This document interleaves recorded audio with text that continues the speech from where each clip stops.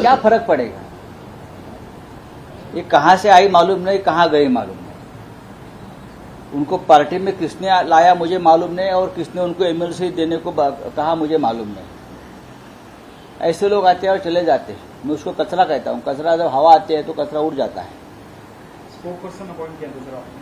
हमने नहीं किया जिसने किया होगा मुझे मालूम नहीं। हम ऐसे लोगों को मानते नहीं मैं एक पार्टी का वफादार सिपाही हूँ।